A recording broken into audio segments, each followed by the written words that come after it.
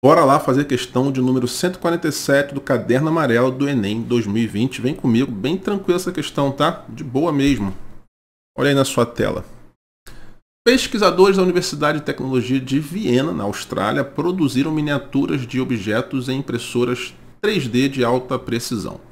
Ao serem ativadas, tais impressoras lançam feixes de laser sobre um tipo de resina esculpido do objeto desejado. O produto final da impressão é uma escultura microscópica, microscópica de três dimensões, como visto na imagem ampliada. Então está aqui, carrinho de Fórmula 1. Legal. O que vai interessar mesmo está aqui agora. A escultura apresentada é uma miniatura de um carro de Fórmula 1 com 100 micrômetros de comprimento. Um micrômetro é a milionésima parte de um metro. Usando notação científica, qual é a representação do comprimento dessa miniatura em metro? O que é o micrômetro? Está aí. Ele foi generoso e falou para a gente. Micrômetro é a milionésima. Milionésima vem de milhão, né? Parte de um metro, né? Como o carrinho ele tem 100 micrômetros, então vamos ver aqui o tamanho dele, ó. 100 micrômetros. O que, que é micrômetros?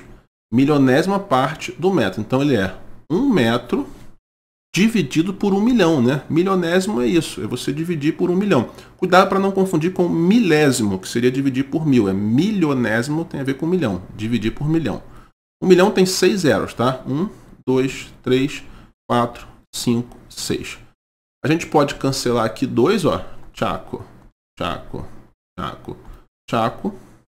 Vai ficar tão somente aqui um sobre é, esse 1 aqui seguido de 4 zeros, né? No caso é 10 mil, mas nem precisa pensar que é 10 mil, não. Vamos botar em notação científica logo. É, como tem 4 zeros, a gente joga 10 a quarta e aí sobe, né? Propriedadezinha, pessoal. Para jogar isso aqui para cima, você tem que mudar o sinal do expoente. Fica 10 a menos 4. Isso está aqui na letra C. Mas, Paulo, tem um 1 na frente multiplicando. É porque colocar na notação científica tem que ter um número na frente ali multiplicando mesmo a gente bota um, sem problema, né? Multiplicar por um não muda nada, continua a mesma coisa, né?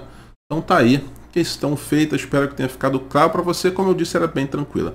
Beijo grande no teu coração, até o próximo vídeo. Valeu. Antes de ir embora, dá aquela moral, curte aqui o vídeo, verifica se está inscrito, se não tiver, inscreva-se, tamo junto. Valeu, pessoal.